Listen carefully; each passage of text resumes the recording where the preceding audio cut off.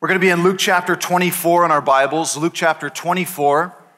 If you want to turn there, and if you don't have a Bible but you need one, we would love to give you a free one after the service. We'd love to make sure that you have a Bible before you leave if you don't have one.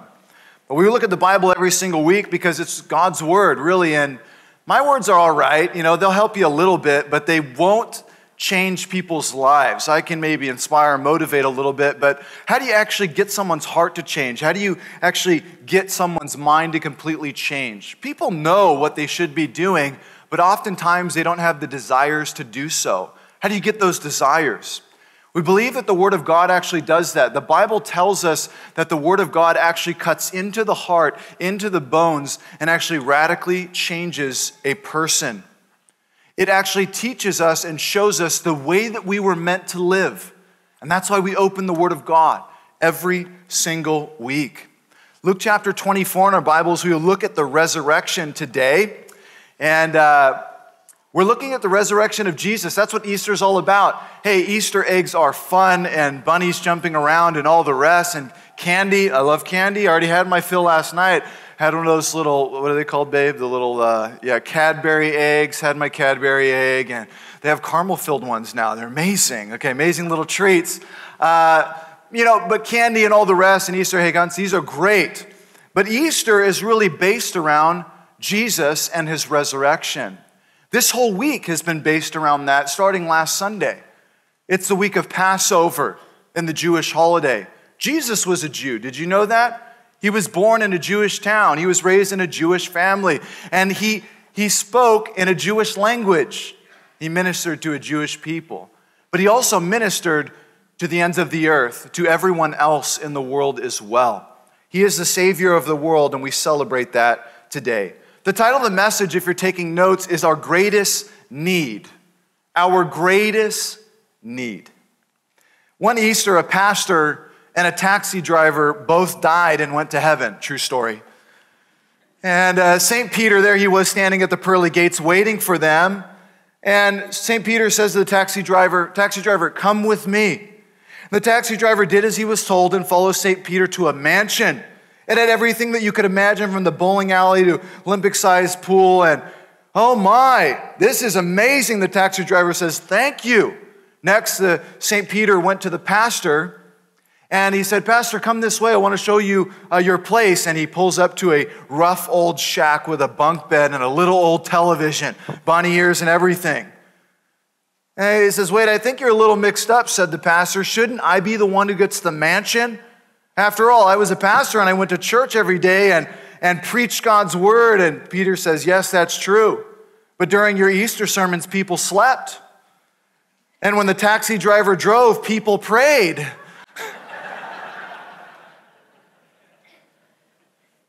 What is our greatest need? Think about it.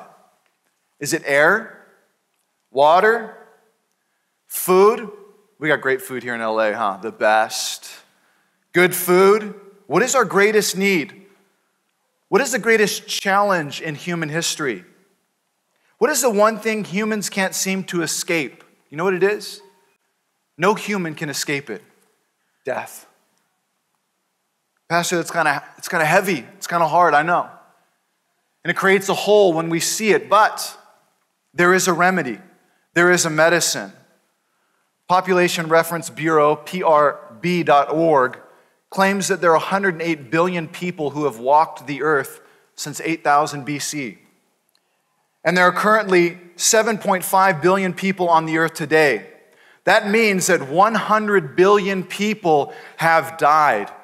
How many of those people do you remember? Who is the one person that has seemed to sweep the earth with popularity? Why is it that at his name so many people know and understand in their language? Jesus the Christ? How did he get so popular? James, Dr. James Allan Francis wrote this in 1926 says this about the Lord Jesus He was born in an obscure village, the child of a peasant woman. He grew up in another obscure village where he worked in a carpenter shop until he was 30 when public opinion turned against him. He never wrote a book, He never held an office. He never went to college. He never visited a big city. He never traveled more than 200 miles from where he was born.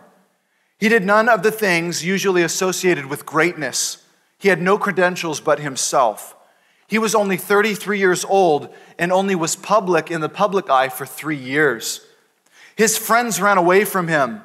One of them denied him. He was overturned to over, he was turned over to his enemies and went through the mockery of a trial. He was nailed to a cross between two thieves, criminals. While dying, his executioners gambled for his clothes, the only property that he had on the earth. When he was dead, he was laid in a borrowed grave through the pity of a friend. Those are the facts of his human life.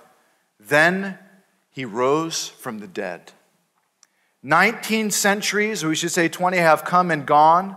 And today, Jesus is the central figure of the human race and the leader of mankind's progress. All the armies that have ever marched, all the navies that have ever sailed, all the parliaments that have ever sat, all the kings that have reigned put together have not affected the life of mankind on the earth as powerful as this one solitary life.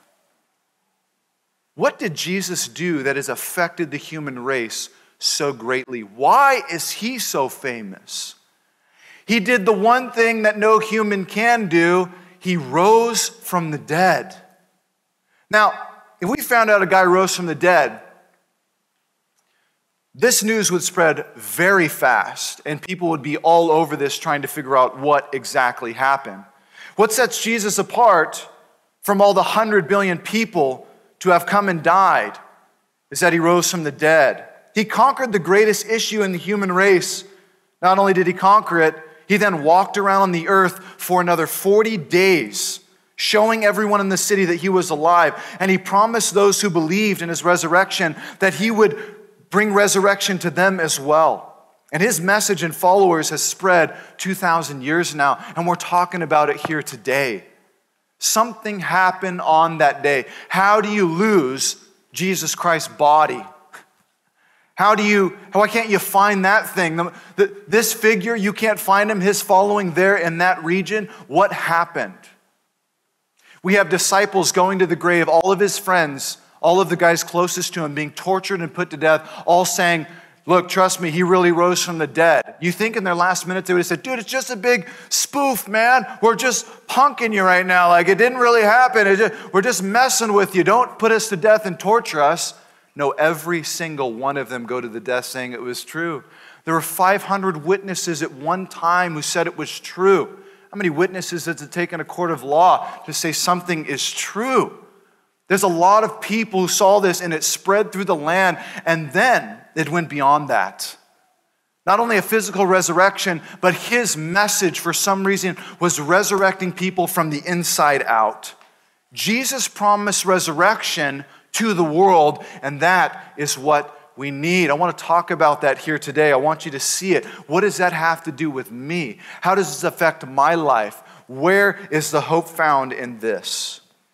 Let's take a look at his resurrection now.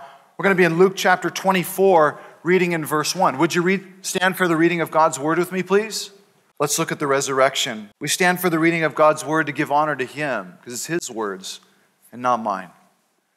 Luke chapter 24, verse 1, take a look. Now, on the first day of the week, that's Sunday, very early in the morning, that'd be before 6 a.m., they and certain other women with them came to the tomb, bringing the spices which they had prepared. But they found that the stone rolled away from the tomb. But they went in and did not find the body of the Lord Jesus. And it happened, as they were greatly perplexed about this, that behold, two men stood by them in shining garments then, as they were afraid and bowed their faces to the earth, they said to them, Why do you seek the living among the dead? He is not here, but he is risen. Remember how he spoke to you when he was in Galilee, saying, The Son of Man must be delivered into the hands of sinful men and be crucified, and the third day will rise again. And they remembered his words. Verse 9 Then they returned to the tomb and told all these things to the eleven disciples and to all the rest. It was Mary Magdalene Joanna, Mary, the mother of James, and the other women with them, who told these things to the apostles. And their words seemed to, be, to them like idle tales, and they did not believe them. But Peter arose and ran to the tomb and stood down. He saw the linen cloths laying by themselves and departed, marveling to himself at what had happened. Let's pray. Father, as we look at the resurrection, I pray that you would raise us to life, that we would see the power and the resurrection, what Jesus has promised us, and that we would raise to new life, that we would walk with you in a new way, that you would make old things pass away and everything become new, that those things would die and we would truly live. I pray that you'd bless us as we look at your word now. I pray in Jesus' name. Amen. You can be seated. A few things to note. I'd like to just talk about the scriptures here. Take a look at the story. A few things to note. First, did you notice it was women who were with Jesus at the tomb with spices to prepare his body for the burial? Not men. Where are his disciples? Where are the boys who've been hanging out with him for three years? Peter, James, John, where are you? They're over there moping in the corner. They forgot that Jesus told them he was going to raise from the dead. How do you forget that? Notice Jesus allowed the news that he was alive to be placed in the hands of women who were suppressed in that society and culture. I don't know if you knew this, but Jesus is more pro women than anyone on the earth. He entrusted them with his testimony, the testimony from the angels, into their hands to go and tell his disciples. They were the first to know on the earth, this group of women. Now, sometimes it gets a little bit out of control, no doubt, in our society, but Jesus is the only one who puts women in and exalts women, I should say, to their rightful place in society. Right here in the resurrection, it's hidden in our story. Just a little side note to you. That was a bonus, okay? Verse 2 the stone was rolled away. Now, when we think of a tomb or we think of a, um, a funeral, we always bury people on the ground. But there, if you go to Israel today, right outside Jerusalem, outside the city walls there, I've been there, the place where they think Jesus actually rose from the dead is a tomb or a cave that was really carved out of the rock. And it's kind of like this little cave that you walk into. And the door would really only be about this big. What they would do is they would, they would break it open and they would do all the work and then they would fill in the rest and they would roll a stone that has kind of a gutter here and it would roll over the door and the entrance of the tomb. When the women showed up with the spices to prepare his body for burial, the, the stone was rolled away. It was open. They're like, who messed with the tomb? They were troubled, wondering what had happened, and the angels then show up. I could see the angels maybe sitting on the, uh, the, the, the, giant uh, door of the tomb there, the stone. Hey, what are you doing? It says in the text they bowed down because they saw a spiritual being and they didn't know what to do. But the angels say this Why do you seek the living among the dead? He's alive. Verse 6 He is not here, but he is risen. If you go to the tomb in Jerusalem, there right outside the city, it's in a garden. There's a cistern under the garden. It's a 2,000 year old tomb. And they put there on the entrance of the door, He is not here, for He has risen. Christ risen from the dead. The angels said to the girls, the Son of Man must be delivered into the hands of sinful men and be crucified, and then the third day rise again. Remember? And it says there in verse 8, they remembered. Jesus foretold his death and resurrection before it happened. Did you know that? He spoke about it, he was talking about it all the time. I must be handed over, I must die, and then rise from the dead. And still, once it happened, everybody's scratching their head. When the Son of God, when Jesus the King is doing miracles all over the city, his fame was spreading throughout the land. Then all of a sudden, Pontius Pilate rises up and really meets the demands of the people because he wants their favor and says, All right, put him to death. They go and take this guy who was ministering, loving, and serving everyone in the city, and they nail him to a cross. They beat him bloody. They nail him to a cross and they leave him out there like a criminal to die. And everybody is flipping out in the city, all of the disciples, all the followers of Jesus, because they're like, our guy, our king, the political leader that we thought was going to change our nation, the one who was going to save us, is being put to death. So they forgot everything that he told him because they were in such panic and they fled and hid. But it was planned. Do you know this was planned even before Jesus was born? Yeah, your Bible tells you in Matthew chapter 1 verse 21, she will bear a son, that's Mary the mother of Jesus, and you will call his name you're, you're going to have a son, and you're going to call his name Jesus, for he will save his people from their sins.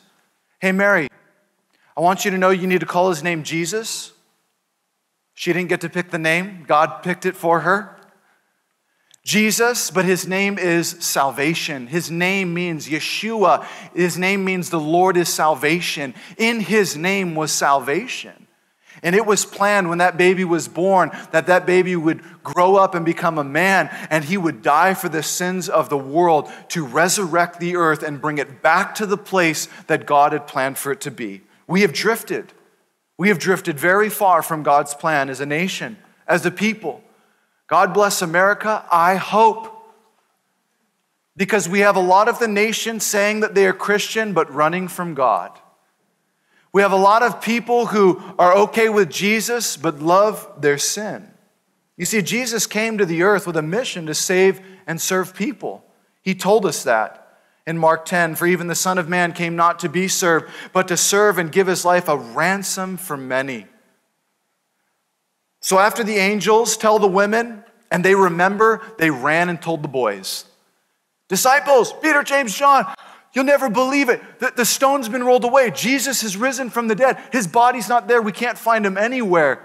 And the boys looking at us like, oh, I don't know if we're going to listen to the women. Shame on you guys. Ladies, isn't that how it is? Men just don't listen, do they?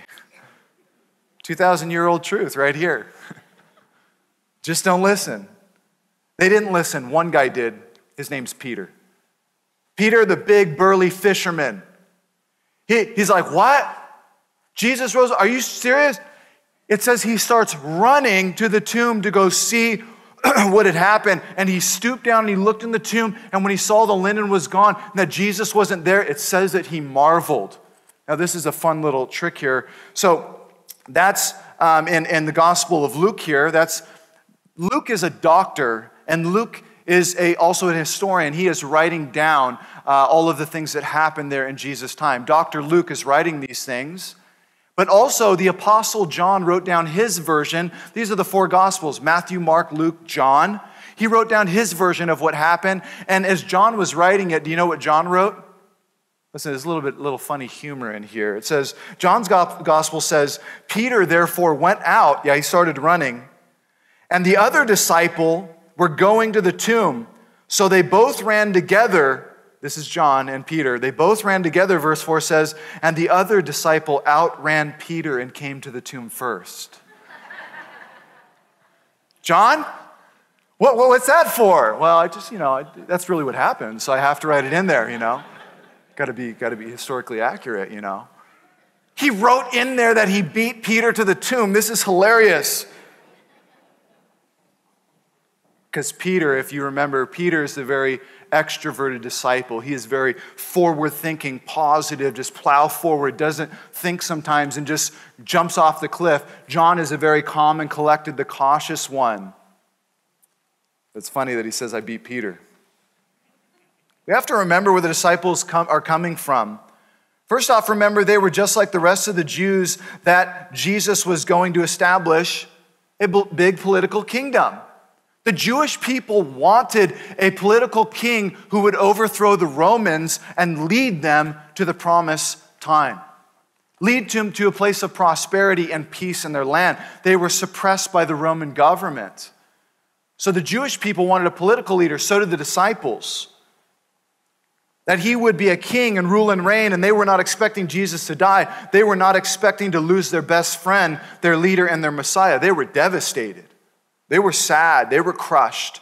They watched him be crucified, tortured, and that is a very hard thing to watch. And it played over and over and over in their heads over the next few days. Not only did their best friend and leader die, he was the best person to ever walk the earth. Can you imagine being friends with that guy? The best person to ever walk the earth. Can you imagine losing that friend, that family member, that leader, that king? He's put to death like a criminal at 33 years old.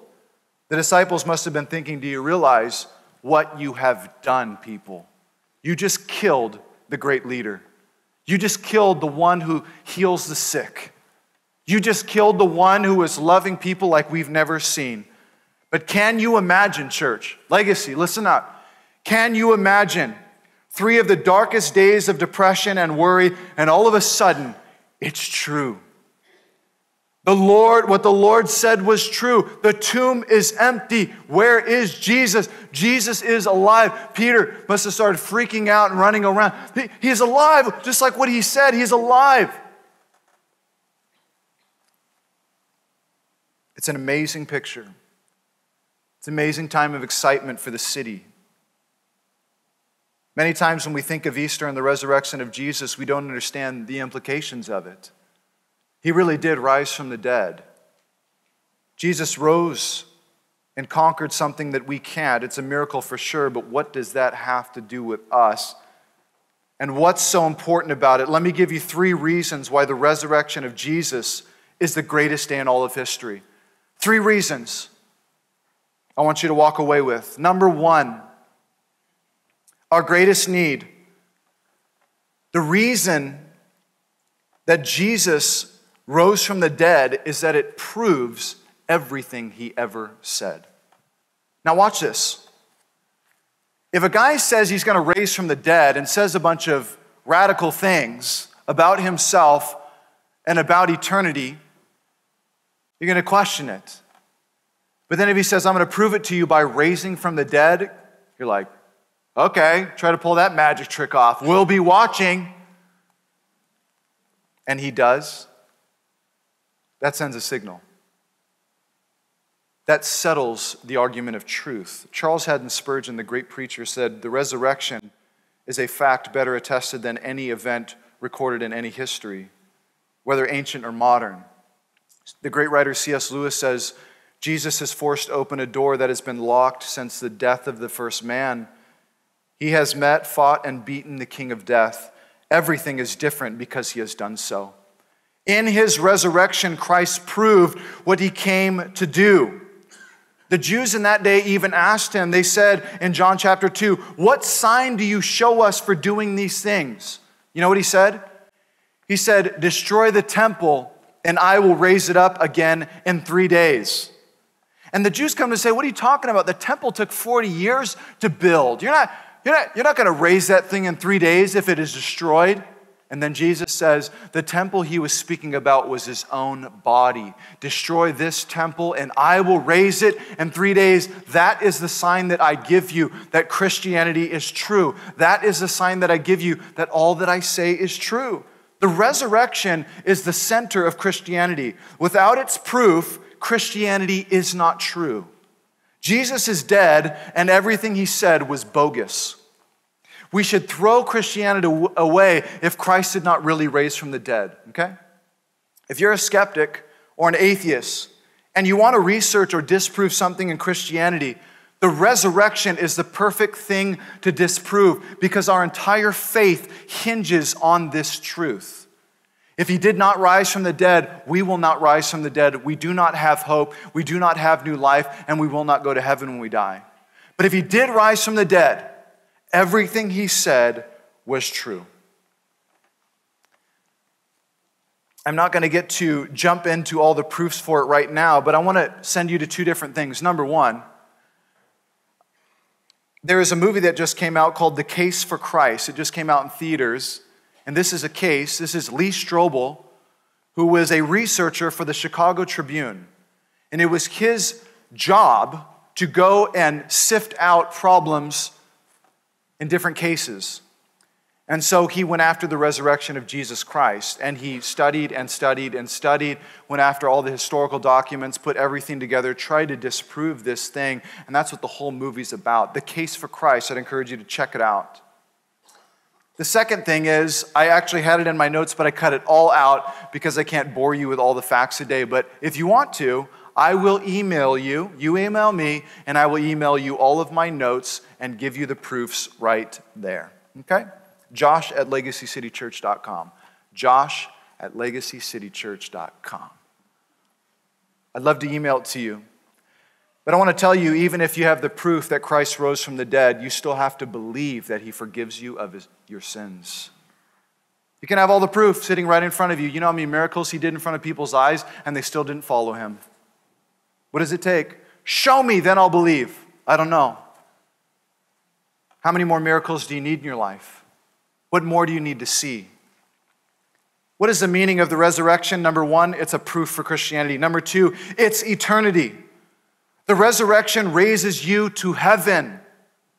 Jesus talked about heaven being a real place. Either he was a liar and a lunatic or he was really speaking the truth.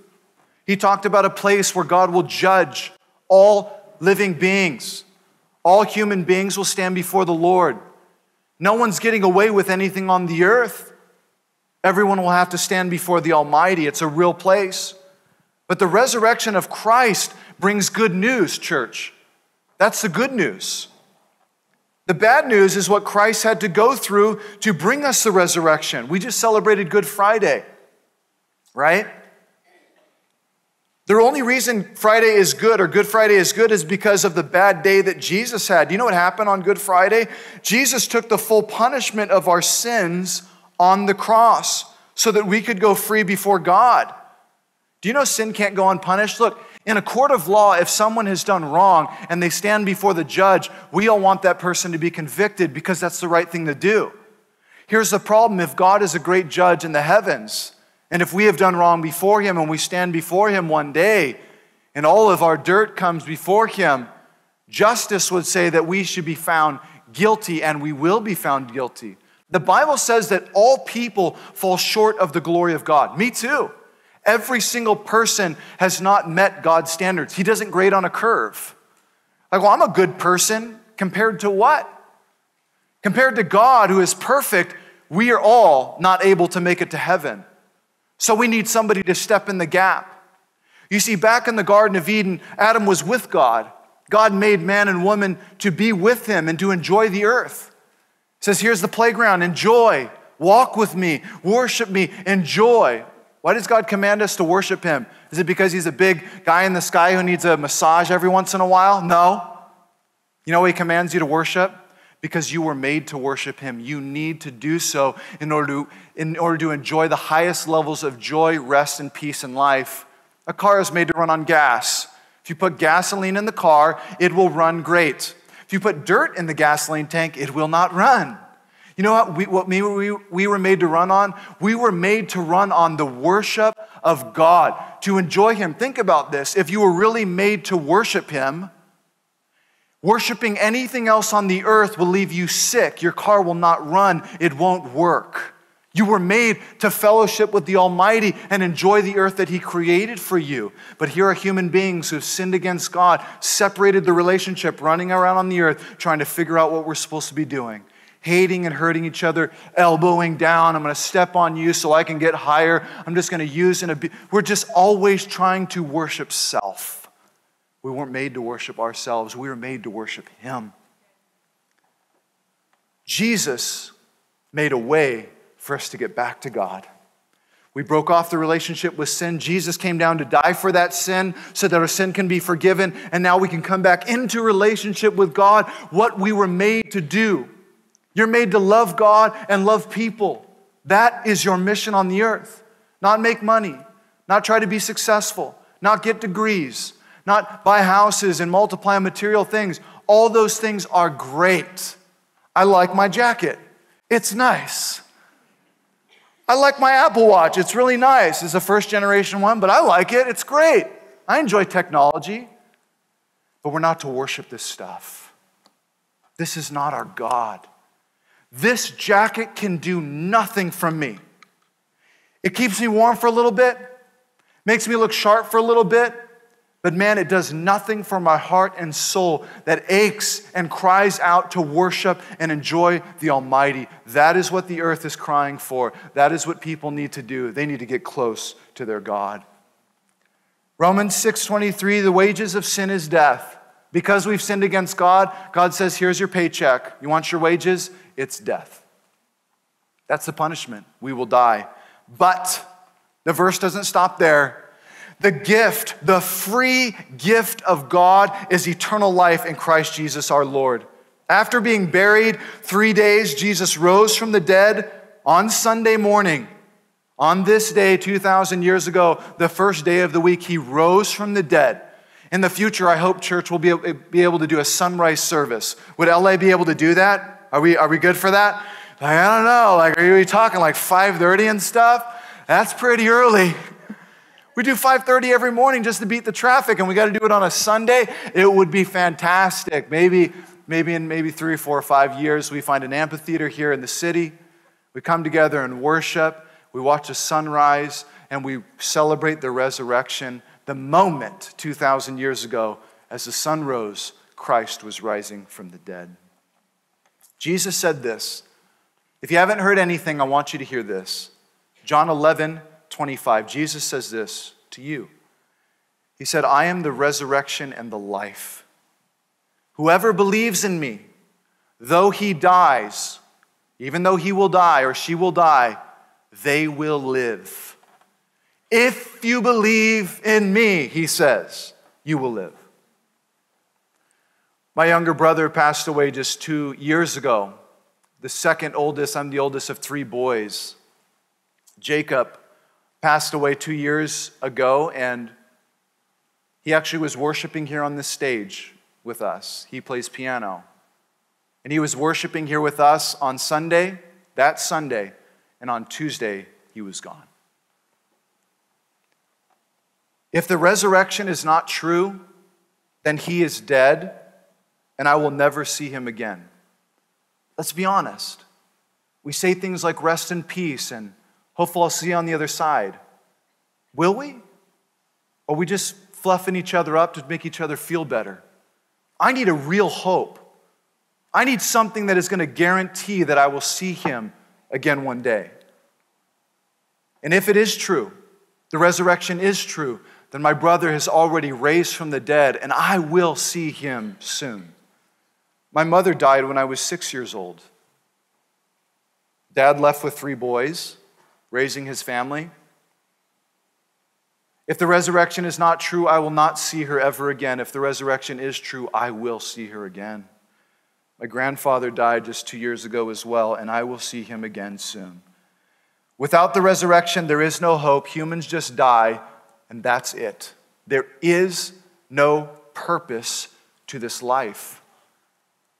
We just get survival of the fittest status and just start hammering each other down to see who can get to the top, suppress one another, hurt one another, dictate one another so that I can be greater and I can survive on. If there is something beyond that, we have something greater to hope for, something that gives me real peace today, that I will see my brother again one day, that death does not have the last say, that even when I die, I will live. And I look forward to that because this body is just all right. I'm, I'm, I'm 34 years old and my hair's already gone. Come on. I'm telling you, if you want to find me in heaven, just look for the guy with the afro out to here, right? I'm just going to be like, yeah. What now? See, you, you were clowning me on earth, but look at me now.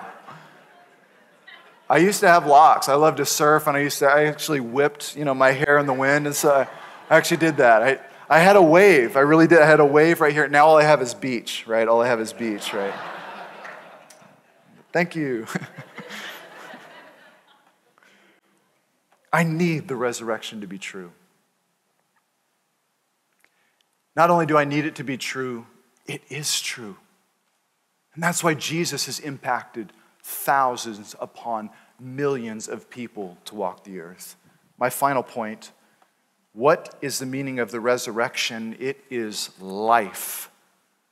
The resurrection not only promises life in eternity, it promises me life now. Now. a spiritual resurrection, a new mind, a new heart, ripping out the heart of stone and giving a heart of flesh. Jesus said in John 10:10, 10, 10, "The thief or the enemy, the dark spirits of this world come to steal from you, kill you and destroy you." And they are real. And they are here in this city, no doubt. I've seen some pretty crazy stuff. What influences people behind the scenes to do these wicked things to one another? How in the world can they do this? He says he comes to steal, kill, and destroy, but Jesus says, I have come to give you life and give it abundantly. Not only did Jesus rise from the dead so that one day you can be raised from the dead when you die and go to heaven, but also that you would be raised from the dead to life now, in this life, here on earth. He has come to give you life more abundantly, more life than you've ever experienced. Jesus said in John 11, I am the resurrection and the life. He said in John 14, I am the way, the truth, and the life, and no one will get to God but through me. Jesus said that. That's a crazy statement. No one's getting to God unless through him. Jesus said that. Now, either he's a liar and a crazy, or he was really telling the truth. You can't just say stuff like that. Jesus wants to give you true life here on this earth. And I mean a life of meaning and purpose, a life of blessings and salvation, a life of joy, peace, and rest. God has a specific way of life that brings peace to human beings. And here we are running around on the earth, not listening to what God says, but doing our own thing and hurting each other greatly. It is really sad what's going on in our nation and what's going on in the world today, isn't it? Why can't humans learn? We got iPhones in our pockets, little computers in our pockets, but we can't learn to love and serve each other. What's wrong with us? Why can't we learn from history? Because there's a problem inside of us we have bad hearts. We had bad minds. It doesn't matter how much you influence people. If they don't get a new heart and a new mind, they're not changing. They're not changing. The thief comes to steal, kill, and destroy from you, and I feel maybe if you might feel that way today. Now in life, life has not been going well. You may maybe have made lots of problems for yourself or have been running from God, and you feel the weight of all of that tearing you down, stealing the joy, stealing the peace, stealing the rest. You know that gas tank is craving? A relationship with God. So that engine will run on all cylinders. God wants you in close relationship with Him, and that is what the resurrection of Christ does. God wants to resurrect your life today. There's no greater way to celebrate Easter and Resurrection Day than to give your life over to God in resurrection. I'll never forget the day that I was raised to life. Look at me. What am I doing out here? What, why have I given my whole life over to this? They say that a pastor carries the stress of a doctor. Uh, I'm sorry, the stress of a lawyer gets the use, uh, works the time of a doctor, but doesn't get paid like either. Right? Why would you give your life over and be preaching and trying to minister, love, and serve people on the earth. I'll tell you why. Because God changed my life from the inside out. One day I was running from Him, running in my own sin, living in my own ways. And I had been seeking and wondering, and one day He came in and changed me from the inside out. It changed everything. Why do I have desires to love and serve people now like I never had before? Why am I convicted when I do wrong? Why do I have these desires inside of me? They came from God and He raised me to life, and I wouldn't trade it for the world. The world needs Jesus. Maybe you're saying, What must I do to be saved from my sins and forgiven by God? Let me tell you this we need forgiveness. We need things to be made right with God, and I want to give you the message. This is it, it's very simple. You must recognize that God is the creator, that He owns everything. The Bible says that the earth is the Lord's and all that contains it. You must realize that God is perfectly holy, a judge, requires perfect obedience from humans. We say, Well, I can't do that. Nobody can. That's what Jesus is for. He stepped in the gap to build the bridge for you to God, did the work that we could never do so that we could be forgiven. We must see that we've broken God's commands. We've sinned before Him and we've messed up the relationship. But Jesus made a way for us to be brought back to Him. We must realize that we can't save ourselves from good works, by good works.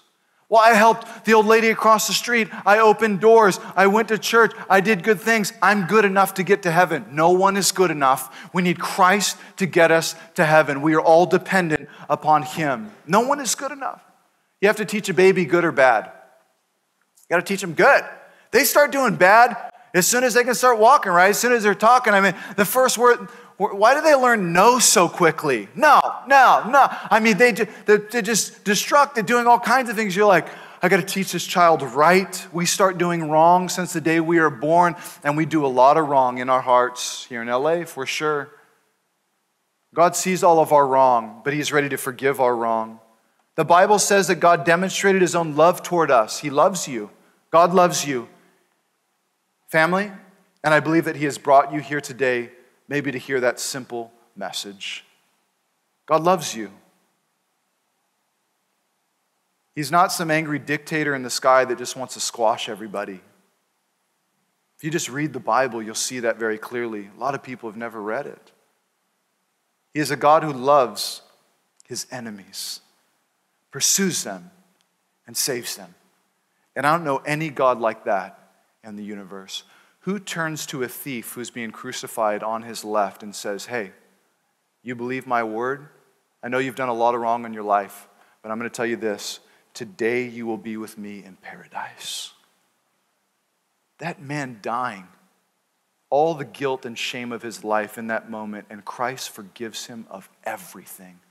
That is the God that we serve. And that is the God who changes our lives. What must be due to be saved? We need to, don't miss this. We need to turn away from the sinful lifestyles that we have been living, running from God, and turn to God with all of our hearts. Nobody's perfect, but you're either pursuing away from God or you're pursuing to God. You make that decision. You need to make that choice. We must repent of our sin, turn from it, and turn to God and start walking with Him. Jesus said, If anyone wishes to come after me, you must deny yourself, take up your cross daily, and follow me. That's what it means to follow Christ. If our greatest need had been information, God would have sent us an educator. If our greatest need would have been technology, God would have sent us a scientist. If our greatest need had been money, God would have sent us an economist. If our greatest need had been pleasure, God would have sent us an entertainer. But our greatest need was forgiveness. And so God sent us a Savior. That's what we need. John 3:16 tells us, let me read this over you, please. For God so loved the world, that's you, that he gave his only begotten Son, that's Jesus, that whoever believes in him shall not perish, but will have everlasting life.